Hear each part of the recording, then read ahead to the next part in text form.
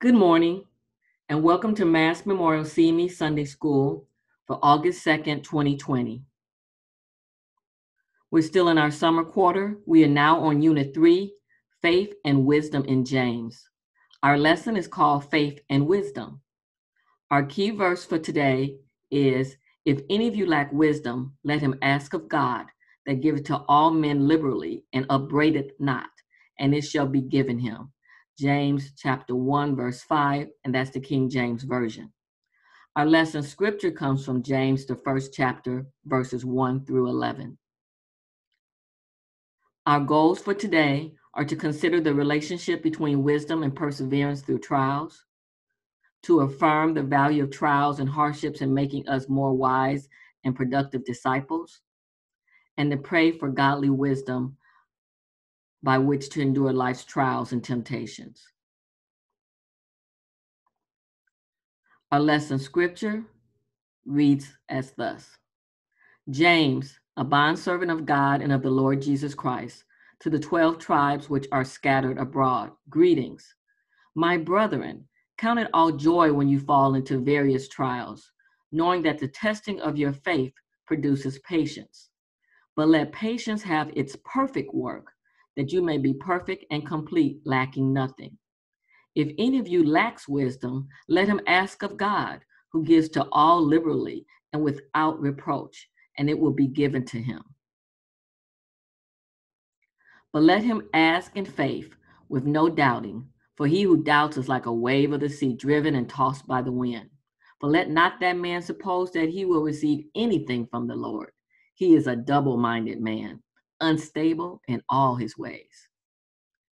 Let the lowly brother glory in his exaltation, but the rich in his humiliation, because as a flower of the field he will pass away. For no sooner has the sun risen with a burning heat than it withers the grass, its flower fails, and its beautiful appearance perishes. So the rich man also will fade away in his pursuits. The word of God for the people of God. Thanks be to God. Let's look at our background. So now we're starting in a new book. We're starting in the book of James. We were in the Gospels, and before that, we were in Proverbs. And so, first, we just need to talk about James as the author. So, James is one of Jesus' four half brothers, and you can find that in Mark, the sixth chapter, verse 3. His parents from natural conception were Mary and um, we consider Joseph as his earthly father or as his father um, even though it's not mentioned. Um, he did not believe at first that Jesus was the Messiah. So if you can read about that in John 7, 1 through 5, it says his brothers didn't believe him. It's said to be he was said to become a strong believer after meeting the resurrected Jesus. And we see that scripture, 1 Corinthians 15, 7. And then he also, after becoming a strong believer, he became a leader of the church in Jerusalem. And you can see that in Acts 15 13 through 21. The Epistle of James, um, again, the letter is probably written by Jesus' half brother James. There's more than one person whose name is James in the Bible, so there's at least five of them named James in the Bible that we know of. And just like with us, there we have names that might be common in our families. We might names that are common amongst our friends, and so um, it's just that there was five people who had the name James. So they do consider that this letter was written by Jesus' half brother. Um, this letter is very straightforward. It's not even set up really like a letter. It's almost like um, little mini sermons or practical points, similar to Proverbs in just um, points of wisdom. And in the epistle, and the word epistle just means letter, in the epistle of James, it emphasizes practical application of the gospel to the believer's daily life. So he just straightforward. It says in the Word in Life Study Bible, it says, for James, religion is not about church membership, financial contributions, or even teaching Sunday school. The acid test of true religion is doing the truth, not just hearing it or speaking it. Action is the hallmark of authentic faith. In this respect, James mirrors Jesus' Sermon on the Mount. He forcefully condemns counterfeit religion that substitutes theory for practice. And so that's from the Word in Life Study Bible. With that in mind, the idea is a lot of times we don't say that Christianity is a religion. We say it's a relationship. It's a relation, but it is a religion, but it's the true religion. And true religion, um, you know, I would say action speaks louder than words. So we have to know the words, but we also have to show it with our actions. And so, with this in mind, um, we're talking about true religion today as far as how James sees things. Now, in the original key verse that we read um, at the very beginning, that was the King James Version. And James chapter 1, verse 5 said, verse 5 said, If any of you lack wisdom, let him ask of God. They give it to all men liberally. So that means he freely gives it, it's plentiful, and upbraideth not, and it shall be given him. And I wanted to go ahead and give you a definition for the word upbraid.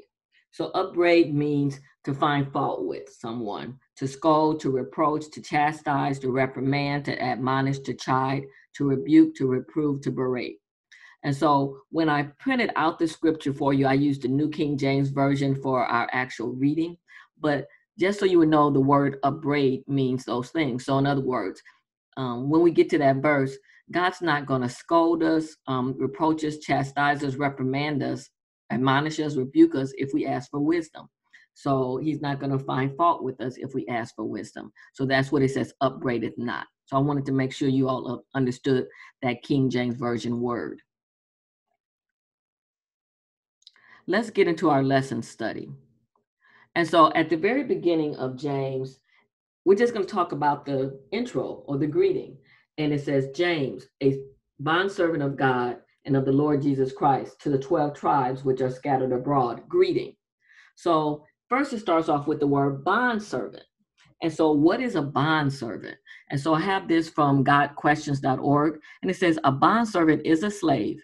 In some Bibles, the word bondservant, bondservant is the translation of the Greek word doulos, which means one who is subservient to and entirely at the disposal of his master, a slave. Other translations use the word slave or servant. In Romans times, the term bondservant or slave could refer to someone who voluntarily served others. Okay, jumping to the next highlighted part. The Hebrew word for bondservant, ebed, had a similar connotation. However, the Mosaic law allowed an indentured servant to become a bondservant voluntarily. If the servant declares, I love my master and my wife and children and do not want to go free, then his master must take him before the judges. He shall take him to the door of the doorpost and pierce his ear with an awl. Then he will be his servant for life. And that's from Exodus 21 5 to 6. So we see people now not just with an earring, but what is basically a all AWL all in their ear.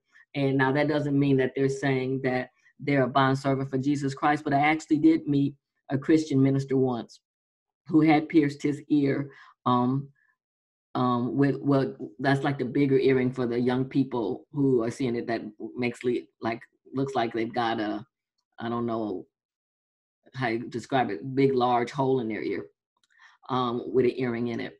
And so I actually did know a, a Christian minister who worked on campus who had did that. Um, and his was as a sign of being a bond servant that he chose to serve Christ forever. And that was just his way of doing that. So you don't have to physically do that. Going on with this ex- explanation of bond servant, now down to the next part that's highlighted, it says, throughout the New Testament, the word bond servant, slave, or servant is applied metaphorically to someone absolutely devoted to Jesus. So, with that in mind, if we use that definition, James is saying a bond servant of Jesus Christ, that he is absolutely devoted to Jesus. Remember, he's Jesus' half brother, but at the, the beginning, he didn't believe that Jesus was the Savior of the world. He didn't believe he was Messiah. Then he came to saving knowledge of Jesus Christ. And so now he's saying, I am, I believe in Jesus so much that I am absolutely devoted to Jesus. And so then going on in verse 1, James says, he says, to the 12 tribes which are scattered abroad, greeting. Well, that's scattered abroad, that's a word that um, we talk about in terms of Jewish people and actually in terms of African people also. And that word, spelling it is D I A S P O R A. Um, that's the spelling of the word, and the pronunciation of the word is diaspora. Okay, so diaspora. And so basically, it means the Jews who were scattered abroad and living outside of Israel. And they were scattered due to all the way back, if we look in the Old Testament, the Syrian invasion of Israel and the Babylonian exile from Judah. So that goes all the way back right after um, King Solomon when the kingdom split. And we talked about that way back in our Sunday school lessons. Um, so just that idea that the Jews were scattered, and they were scattered, and some of them did go back to um, to the to Jerusalem after things were built back up, but some of them stayed in these other areas. And sometimes, you know, they still weren't considered a part of those areas. They were still considered foreigners. They were considered outsiders. Sometimes they weren't treated well. And we can look at it, look at that in terms of African American people that um, we're scattered. We're no longer in Africa, um, or and we're we're in the land that we were even brought to, but people still don't. Um, they consider us outsiders. They consider us foreigners. Um, they don't treat us well. And we see that. And so these people are scattered and they're going through. And so then James is sending this letter to this set of people. And then he says greetings. And the word greetings here is more than just saying hi or hello. It actually means rejoice, be glad, because that's what we're talking about today. Even though the people are going through, James is saying, rejoice, be glad. Now we're going to go to James chapter 1, verses 2 through 4. And it says, um, there's a verse, Psalm 34 19, that says, Many are the afflictions of the righteous, but the Lord delivers him out of them all. And so this is one of those verses that we read that everyone goes, hmm. And the verse says, verse 2 says, My brethren, count it all joy when you fall into diverse or various temptations or trials. Count it all joy. And so, with that in mind, this is how it goes from verses two through four. They're saying, when you have trials, trials, you see, I have an arrow, leads to the testing of your faith. And the testing of your faith will lead you to lead, hopefully lead you to patience. And so, um, and that means you're waiting on God and you're trusting God. And when you complete that waiting on God and trusting God, that will lead you to being perfect and complete. So that's the series that we're supposed to go through. And so I know a lot of people want to say pray for patience, but you don't need to pray for patience because if you pray for patience, that means you're going to have trials. And we already have trials. And even that verse says, um, count it all joy when you fall. And so that means sometimes it's not about you wanting them, it's about you falling. Like if you're falling, that's not a plan when you fall. Um, I know there's some people who skydive and that's their plan. But most of the time, when you fall or you trip, it's something that you weren't expecting. So it says when you fall into various, and they're different, they don't even ever look the same, um, various trials. So trials, um, as we grow up in Christ, that's going to test our faith. And then that's going to lead to us patience, lead it to us patiently waiting on God. So trusting Him and believing that for deliverance. And then after that, that's going to help us be perfect and complete. From the Jeremiah Study Bible, it says, To count it all joy means to appraise one's situation intelligently, confident of the good that God can do through it. We know it says, I'm going to stop for a minute. We know it says in Romans 8 28, all things work together for good to those who love the Lord and are called according to his purpose. So it doesn't say all things are good, it said all things work together for good. So going on with this um, writing, it says, the trials that God allows strengthens the believer and are different from the consequences of sin in a believer's life. Patience does not require us to resign ourselves to whatever happens, but to have a tough resolve or brave endurance in adverse circumstances. Trials produce durability as well as maturity. Perfect means to be fully and completely developed or mature. Complete refers to being whole. Without trials, Christians cannot develop to maturity, so we can't grow up, or wholeness. And that is from the Jeremiah Study Bible. And also at this time, I just want to mention there's a difference between joy and happiness. Happiness depends on what's happening. So a lot of times we'll say, um, oh, something's going great, so we're happy. Um, but then joy is saying, even when things are not going great, we still can hold on to the Lord and we can still trust Him and we can still rejoice in Him.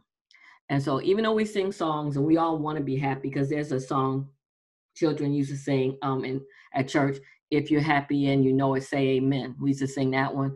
Or um, happiness is to know the Savior. And so we want to be happy. Um, and it is happiness to know the Savior. And we should say amen when we're happy. So be it. We should be happy with those songs. Um, and then, um, but it's also the idea that we want to go beyond happy. We want to go to the point that even when things are not going well, and we look at what's going on right now um, with um, COVID 19 and other things that are happening in this world, and it might not make you happy, but we should have joy. Um, we you, you don't want to lose your joy. There's a um, song, uh, a southern song um, that they sing in Florida that says, I still have joy. I still have joy. After all the things I've been through, I still have joy.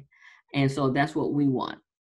Going on with this idea, or with this, uh, so we have a lot of scripture in lesson today. I want us to look at First Peter 4, verses 12 through 19.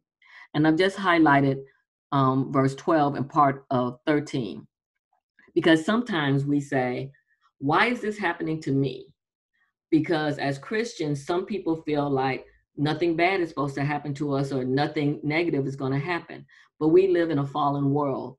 And again, we can fall into things because we live in a fallen world. And even though God allows it, um, He's still with us in the journey. So it says in Isaiah, even though we walk through the water, or even if we walk through the flood, or even if we go through the fire, we won't be burned. God is our Savior, He's our Redeemer. He goes with us through it. So we don't stay in it, but we do go through it. But it says in First Peter 4 12, um, it says, Beloved, do not think it strange concerning the fiery trial which is to try you, as though some strange thing happened to you. But rejoice, there goes that joy, to the extent that you partake of Christ's suffering. And so we know that our Savior and Lord suffered. And so then um, we we suffer also. There's times we'll suffer also. So we shouldn't think it's strange. Bad things, unfortunately, do happen to what we call good people. Or we can say trials do happen to Christian people. Moving on, still on that idea. There's a song that we sing, and I just gave you um, some of the lyrics. Um, and the name of the song is Trading My Sorrows. And it goes, I'm trading my sorrows.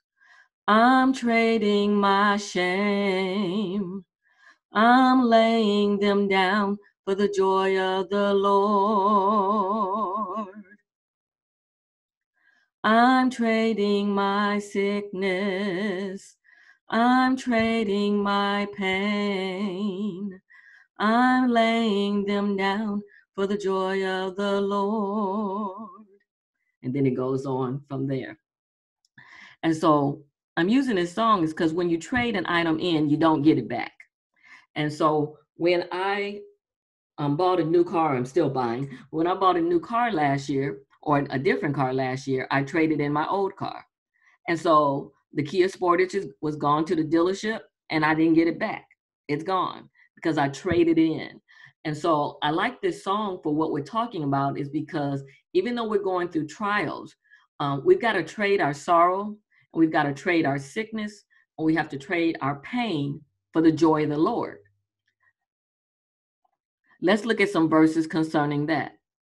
So, trading my sorrow, it says, Surely he has borne our griefs and carried our sorrows.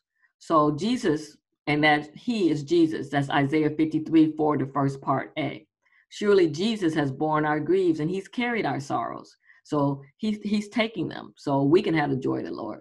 Then it says in Nehemiah 8 10, the second part, do not sorrow, for the joy of the Lord is your strength. And that's one reason why we have to have joy. Because if we go with happiness and then we're not happy, then we can get depressed, we can get down, um, we can get defeated, and it will make us weak. And so we have to trade away that sorrow And we have to hold on to the joy of the Lord because the joy of the Lord is our strength. It says in Psalm 30, verse 5, the second part, weeping may endure for a night. So that doesn't mean we're not going to cry, but joy comes in the morning. And that doesn't mean that it's just going to be um, when it's early in the morning that we're going to have joy, but we're going to go through something which seems like a night season or a midnight in our lives. But joy is going to come for God's people. So joy comes in the morning. Then it also says, You have turned my mourning into dancing. You have put off my sackcloth and clothed me in gladness. They used to put on sackcloth, which was basically like a burlap bag, um, and um, they would rip their clothes and they would weep when they were really sad. And so this verse is saying that, and even in mourning, um, mourning is the opposite of dancing. When we're dancing, we're normally we're I, am gonna say happy. We're happy or we're having a good time or we're joyous. And so he says we're gonna get rid of that mourning and have dancing. We're gonna take off that sorrow, that sadness that that sackcloth shows, and we're gonna end up putting on clothing of gladness. And that's Psalm 30 verse 11. Then we also need to trade our shame because even in falling into trials, um, and when something happens to us, then we that we should not do, or we do something we should not do, we end up with shame. And Satan wants us to be ashamed because he doesn't want us to declare the word of the Lord. Um, and so he'll make us feel unqualified to do that or that we shouldn't because of things that we have done. But it says in, in Isaiah 6, um, the first part 7a and the last part 7c, instead of your shame, you shall have double honor and then everlasting joy shall be theirs. And then in Psalm 3 3, it says, But you, O Lord, are a shield about me, my glory, and the lifter of my head. And then even a trial might be a sickness. We know people who are sick, um, family members who are sick, friends who are sick. Right now, with dealing with um, the coronavirus not, and everything else that's going on, there's still heart disease, there's still diabetes, there's still high blood pressure there's still cancer, um, even a cold, even the flu, um, but different sicknesses, um, fibromyalgia, lupus, all that sickness, um, we want to trade our sickness to. And because we know that it says in Isaiah 53 5b that by Jesus' stripes we are healed. So again, the song, using the song, we're trading our sorrow, we're trading our shame for the joy of the Lord. We're trading our sickness. And then the last part is we're trading our pain for the joy of the Lord. It says in Revelation 21 4, and God will wipe away every tear from their eyes. There shall be no more death, nor sorrow, nor crying. There shall be no more pain, for the former things have passed away. So, even with the idea that we're laying it down for the joy of the Lord, it says in Philippians 4 4, rejoice in the Lord always. Again, I will say, rejoice. So again, we have to trade our sorrow, we have to trade our shame, we have to lay it down for the joy of the Lord. We have to trade our sickness, we have to trade our pain, we have to lay it down for the joy of the Lord. So as we go through various trials, we need to count it all joy because that again, going back, the trials are testing our faith. The testing of our faith brings about patience and that patience that we have as we trust God and as we endure, that leads us to being perfect and complete in Him. Now, our next part of our lesson was James 1 5 through 8. And in James 1 5 through 8, it says that goes, our key verse was verse 5. If any of you lack wisdom, let him ask of God that giveth to all men liberally and upbraideth not, and it shall be given him. So we talked about what upbraideth meant. So in other words, we have to with if we need wisdom, we need to ask God. And so Matthew 7, verses 7 through 8 says basically keep asking, seeking, and knocking. It says, ask and it will be given to you, seek and you will find, knock and it will be open to you. For everyone who asks receives, and he who seeks finds, and to him who knocks it will be open. So God has wisdom for us. We need to ask for it in a situation where we need it. And so we need to ask and believe that He's going to um, give it to us. And one of the things that the Lord's been laying on my heart lately is a lot of times we believe in God, but do we believe God? So we know God is God, but do we believe God? Do we believe He'll do things for us? Do we believe He'll give us this wisdom that we ask for? So it's not enough just to just believe in God that He exists, but to believe that He is a rewarder of those that diligently seek Him. And so we need to ask for wisdom. And then it goes on and says, now don't go and um, basically be double minded about it. In other words, um, don't doubt. It says in verse 6, but let him ask in faith, nothing wavering. For he that wavereth is like a wave of the sea, driven with the wind and tossed. Verse 7, but let not that man think that he shall receive anything of the Lord. Verse 8, a double minded man is unstable in all his ways. So, using the message Bible, it says, this is how the message Bible says it. It says, people who worry their prayers, and I love that line. People who worry their prayers are like wind whipped waves. Or even like you can think of a buoy or a boat on uh, we say like a ship that's tossed and driven. Um, don't think you're going to get anything from the master that way. Adrift at sea keeping all your options open. We must everyone believe god ask for wisdom listen to receive that wisdom and then be obedient and do what God says. And so we don't want to worry our prayers. We don't want to go and pray and then just start worrying because that means we're not trusting. And I know that's something that I'm still working on, not to worry my prayers. Um, to believe that God is God. And even in some of the things that I'm studying lately, just for myself, I'm reading a book by um, Christian author Beth Moore, and she says um, some things that we need to remember. And one thing is that, well, one of the things is we have to believe that God is who he says he is. We have to believe that God can do what he says he can do. We have to believe that that we are who God says we are. We have to believe that we can do all things through Christ who strengthens us. And the fifth thing that she says is we have to remember that the word of God is um, active, is living, and is working in our lives. So we have to believe God, everyone.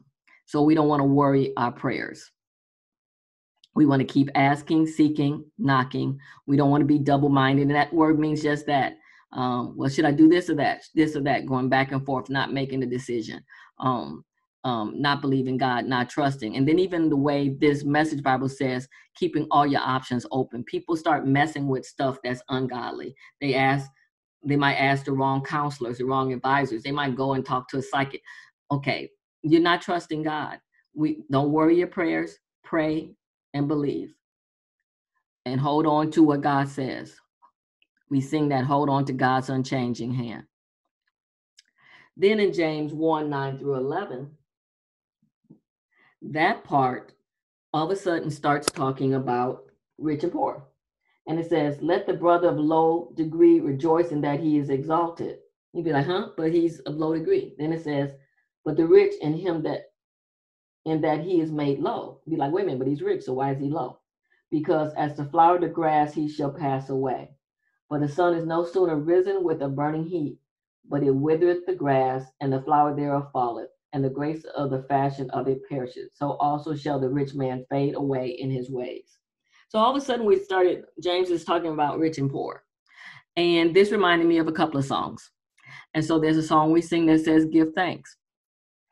And um, in the middle of that song, they have it highlighted. It says, um, And now let the poor say, I am rich because of what the Lord has done for us. So um, you've heard us sing this song. Um, and so the idea is yes, they don't have physical money, um, but they are rich because they're they're saved.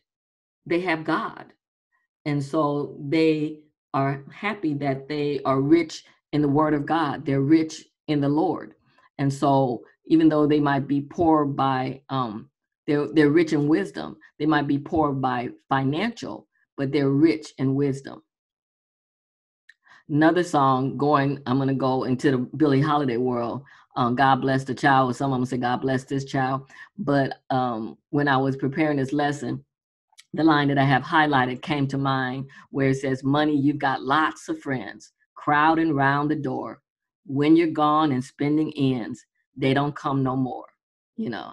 And so it's just that idea that um, rich people can't get stuck on their money. You can't get stuck on prosperity. Prosperity comes and goes. And so again, when you got a lot of money, got a lot of people who are supposedly your friends. They all around your door. You got stuff to give out. I even remember in college, if you had a care package, um, everybody would be there trying to see what's in your care package, trying to share your care package. When your care package is gone, some of them are gone. You know, when you got um, money, we see that when people win the lottery or even um, they come across a lot of money um, or inheritance or something, all of a sudden everybody's their friend, everybody um, wants to be around them, or if they, you're just spending, mm, people want to be around you and be part of the, be part of your crowd or be part of your um, crew. And then all of a sudden, um, your money runs out. And um, your money runs out and you're stuck. I know even a student at Michigan State once, he had a car, and this happens to people. He had a car and him and his fraternity brothers were going to Florida, and they all were like, "Yeah, yeah, we're getting in his car," and they all got in his car, and they went down to Florida, and this is, you know, and then they got to they got to Florida, they had a good time, and then his car died in Florida. Well, his, his those local brothers, not all his brothers, not all his fraternity brothers, but those local, um, the ones that are from up here, they left him. They left him down there, but um, praise God that his other fraternity brothers down in Florida helped him to get back and helped him to get everything set with his car. But it's just it's sort of like that idea of hey, when the car was running, everybody want to be your friend. Everybody wants to be there around you. So um, because they're not really your friends um, like that. But just that idea that don't depend on your money because money comes and goes. Um, and um, money we also say the expression money can't buy you happiness you know? So it's that idea that when we're looking at these scriptures about um, prosperity it's the idea that um, even if you don't have a lot rejoice that you have your salvation. That's the richest thing you can have. You have jesus. Now that we've got king jesus remember um, the earth is the lord's and the fullness thereof. So we're rich because we're god's children. And so if you're looking at um, and we we're rich because we we can ask God for wisdom and he'll just give it to us. And he gives it liberally. So it's just like this um, large banquet table with everything we want. You know, wisdom is on this table. Um, or, and that's one of the things we should want. You know, and wisdom is on this table, and he said, like, have all you want. Oh yeah, you want seconds? Oh, you want thirds? Go ahead, go ahead. You know, and so the idea is don't get stuck on on money. We even know we look at the economy. Uh, money loses its value um, uh, or even these days, we we uh, my sister and I were talking about supply and demand because um, a bottle of Lysol spray um, the other day cost me six dollars and seventy nine cent plus tax, and so you know did I buy it? Yes, because the supply is low and the demand is high, but it's just the idea that money um, can lose its value, or uh, money doesn't buy everything you want, or money won't even spread as far as you want. So we need to look at wisdom from God look at wisdom from God. Going on with this idea, it says um, in Isaiah 48, the grass withers, just like they were talking about in that scripture. Scripture, the flower fades, but the word of our God stands forever. Isaiah 40, verse 8. So even they said the rich man, um, he's gonna fade like a flower. Well, and we can look at that in terms of right now. Um, we have different types of flowers. We have annuals, we have perennials, but um, annuals, we just like they they're there for the year, and at the end, the sun beams out, um, burns up, they burn up, they die. They don't get enough water, but they'll die anyway. Um, they they come up that once. Then you have perennials, and they might come back the next year, but they still fade out. Like right now, um, in front of my apartment, I have yellow daylilies. Well, they were beautiful, and my na- and my um my neighbor has yellow daylilies that the complex um planted in front of her. Beautiful. But right now, they're not looking too great. The flower, those, some of those flowers have already faded. You know, like they might, but because they're perennials, they'll come back. But it's the idea that um, flowers do fade, grass does wither up. Um, I was in Florida and it was hot. You know, my sister lives, one of my sisters lives um, in Oklahoma and it's extremely hot you know, and grass withers. You know, grass is not green necessarily. it might be well, I don't know, tan. So because it's going to wither and the flower fades. But we need to know that the word of our God stands forever. And so when we have Jesus Christ, we have that word of God and we can hold on to that word and that word makes us rich. So let's remember that we are rich not because of finances, but because of our relationship with Jesus Christ. From our discovery lesson on page 44, it says, from the standpoint of Jewish wisdom literature, experiencing the good and the bad of life are occasions when people learn more about God and self. James articulates this viewpoint when he says that says trials are testing of faith an exercise that strengthens faith over time, like a muscle. Talking about this for a few minutes, that line where it says people learn more about God and self when they go through um, good and bad experiences in life.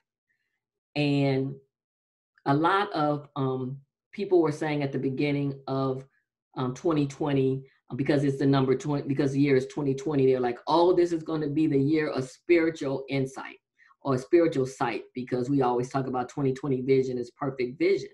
And so everybody was excited. Oh, we're going to have spiritual vision in the year 2020. Well, we have. It just has not looked like we thought.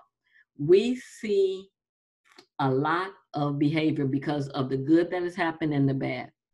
We see people thinking about good. We we see people being more thankful about teachers right now because they had to teach their own children and now or have their own children at home and they are very thankful for teachers we're thankful for those research researchers medical researchers we're thankful for our doctors um, physicians we're thankful for our nurses and our physicians assistants and all those who are working as we say on the front lines very thankful that's the good and then even with the bad um, we see um, people and we, people learn about God and self. Um, we can have faith in God during this time. We can trust God during this time. Um, we can again seek the wisdom of God during this time. But a lot of people, unfortunately, we can see are being disobedient. They are being disruptive. They are being selfish. Um, they're being hateful. They're being mean. Uh, and all this is from the bad happening. Um, and we have to know that God is with us. There's a song that says that He's with us in the good and the bad, you know, and He loves us through, and He loves us through our good and our bad. There's a song that says that He loves us through our good and our bad. And so, therefore, when we go through and we experience good and bad, we need to love Him through the good and through the bad. Um, and we also still need to be Christ like, um, act like a Christian. Um, and so bet we see people hoarding. Um, we see people um, unforgiving. Um, we see the stress levels going up because of the good and the bad of life.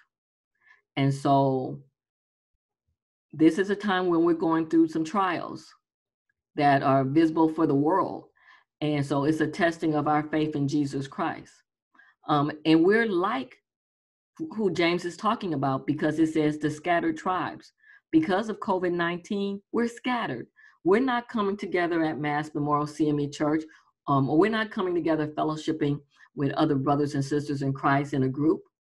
Um, we're scattered.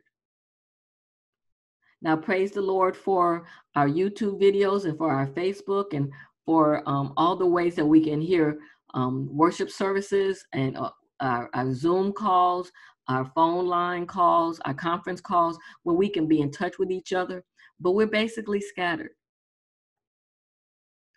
And so, with that idea of being scattered and we're going through trials, we need to hold on again to God's unchanging hand. But again, these trials are testing our faith. Do we truly believe in God? Do we really believe that Jesus Christ is Savior and Lord?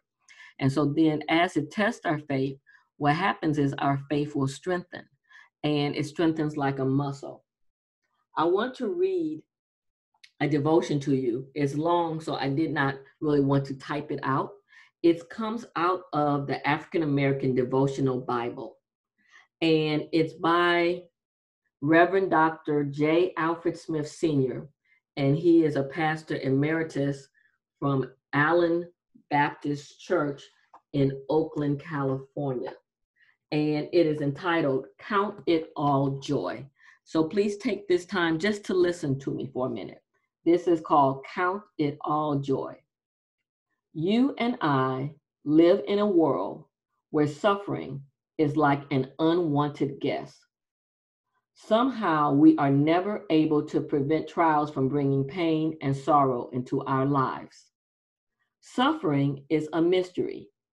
Bad things often happen to good people who are struggling to do justice, love mercy, and walk humbly with God. Suffering never makes sense. Nevertheless, James made a very strong plea for Christians to rejoice in their suffering. J.B. Phillips, in his paraphrase of the Bible, restates the idea. When all kinds of trials and temptations crowd into your lives, my brothers, don't resent them as intruders, but welcome them as friends. Realize that they come to test your faith and to produce in you the quality of endurance. How strange it seems to call suffering a friend when it gives us heartbreak and heartache. But James suggests that the purpose of suffering is to help, not to hurt. You and I are called to look past immediate hurt to see long range good. What is this long range good? It is the maturation of our faith. The muscles of faith are strengthened through tribulation. Just as many physical athletes suffer from fatigue and burnout, many spiritual athletes run out of spiritual energy during times of suffering. Developing the spiritual disciplines of meditation, prayer, and Bible study helps mature our spiritual muscles. In the midst of our increasing spiritual strength comes joy. There is joy in knowing that God has a loving purpose for our suffering and that no suffering lasts forever. There is joy in realizing that we do not bear our pain and suffering alone, for God is with us in our struggles. There is joy in knowing that trials cannot separate us from God's care but will bring us closer to Him. Our Lord taught us to endure trials by the way He endured the last days of His earthly sojourn.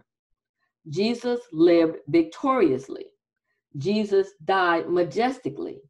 Jesus arose from the grave triumphantly. This same Jesus promises you and me that we also can rejoice in the suffering if we don't resent it as an intruder, but rather welcome it as a friend. Again, this is a devotion found in the African American um, Devotional Bible. This devotion is by Reverend Dr. J. Alfred Smith Sr., who is pastor emeritus of the Allen Temple Baptist Church in Oakland, California. Count it all joy. So next, everyone, last week I gave you an exam and I'm not going to read the answers to you, but I did give you the answers so you can look through, see how you did on your exam. Pastor says he got 100%. He knows he has it. So hope everybody else received A plus plus as well. So you can look through the answers. I have them all in red for you on the on the handout. So as you look through the lesson, and then finally, just to finish up, our goals. Consider the relationship between wisdom and perseverance through trials. Affirm the value of trials and hardships in making us more wise and productive disciples. And pray for godly wisdom by which to endure life's trials and temptations. We, I do also want to take this time to um, thank God for our pastor being reassigned, um, uh, Reverend um, Adrian Swanigan and First Lady um, Sister Janine to Mask Memorial for this conference year. We thank God for you, and I pray that everyone have a blessed week. Um, much love. This is Sister Sharon. Bye bye.